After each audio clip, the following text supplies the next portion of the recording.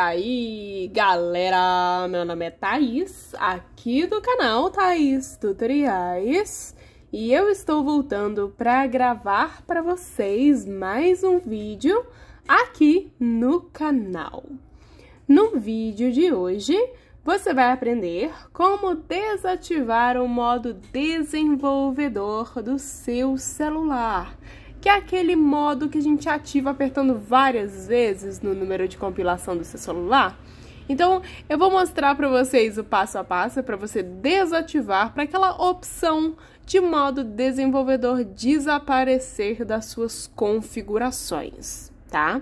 É, lembrando que, galera, o passo a passo pode ser levemente diferente dependendo da, do sistema operacional do celular, tá? Dependendo da marca.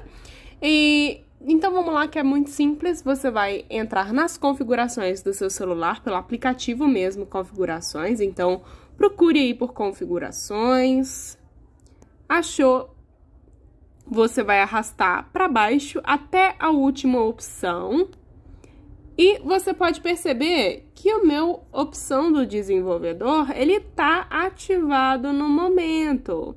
Então, a gente quer que essa opção saia daqui, que ela não apareça mais. Lembrando que todas as opções, todas as funções do modo desenvolvedor que você estiver utilizando vão ser desativadas junto com ele, tá? A gente vai clicar em cima dele e a primeira opção que vai aparecer para você é ativada, essa caixinha da ativação do modo desenvolvedor com uma chavinha aqui no canto. Então, para desativar essa opção, a gente vai desmarcar essa opção, agora ele está desativado, e nós vamos voltar. Ó, agora você percebe que a opção desenvolvedor já não está ali debaixo do sobre o telefone, ele já sumiu dessa página.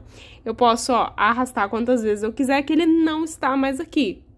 Então, para a gente ativar de novo, você tem que ir lá no sobre o telefone, sobre o software, e em seguida clicar sete vezes no número de compilação do seu celular para essa opção voltar a aparecer aqui e você voltar a poder utilizar todas as funções do modo desenvolvedor do seu celular, tá? Então acredito que para a maioria dos celulares vai ser um passo a passo básico, tá? Você segue dessa forma. Qualquer dúvida, coloca nos comentários. E quem gostou desse vídeo já deixa o seu like, a sua inscrição no canal também.